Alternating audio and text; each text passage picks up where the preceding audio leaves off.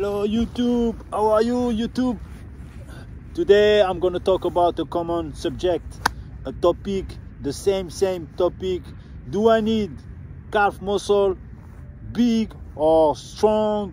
And do I focus all my energy to build up those calf muscle to be able to jump higher and run faster? You know, in my philosophy, if I if I have to answer really quickly, I would say yes, but not only. Why? Why? Because me, my philosophy, I'm more about the function.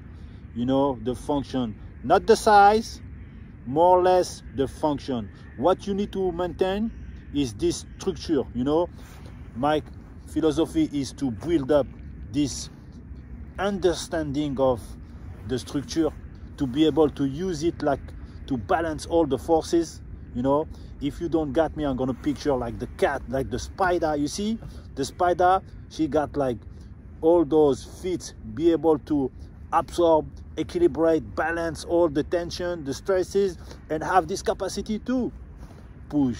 Also like the cat the camel you see skinny legs camel you don't have like crazy calf or crazy strong leg a crazy you know generous legs but you know he got this structure able to balance all the tension and to generate this spring step you know this capacity to explosive the, the explosiveness you know.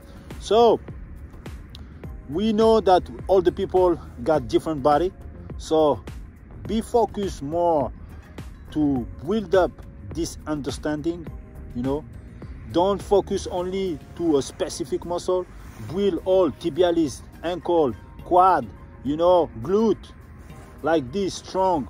You know, my my my philosophy is to to help you to find the weak points, the weak part of your body, and also to make strong part of your body who need, you know, to be stronger. Okay, so when you understand that, you got you got me. To be more specific, I'm gonna help you to add these small details that you need. I mean, it's micro details, but it's gonna help you to build up strong calf muscle. The dorsiflexion of the toes, the big toes, that's gonna help you to build strong plantar fascia, and that's gonna help you to activate and to lock up the knee, the tibialis, and the wall legs. So that's gonna start from the head head of the hip till the extremity, the big toes, you're gonna be able to lock up your calf muscle, lock up your knee. A crazy game changer. You got me. Not about the size, more or less the function. You know, for me, bigger is not stronger.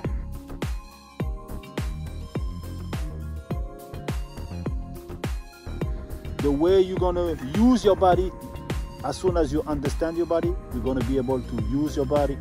You're going to be able to generate this energy that you need to find the technique of the movement, you know, the technique of the jump. Because as soon as you know that, as soon as you build up all those strong tendon, tissue, muscles, bones, and you know how it works, you're going to activate this harmony, this harmony, this equal structure you know that's gonna be make you able to jump higher and run faster.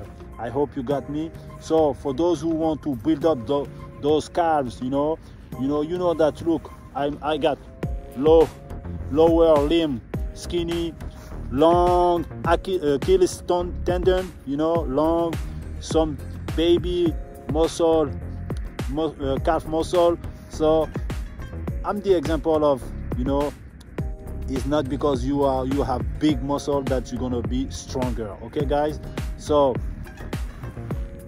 whatever you are working the way you are working your your calf muscle in in and out in straight you know make it stronger and that's gonna help you but not only build up all the rest of your body and find this function okay guys?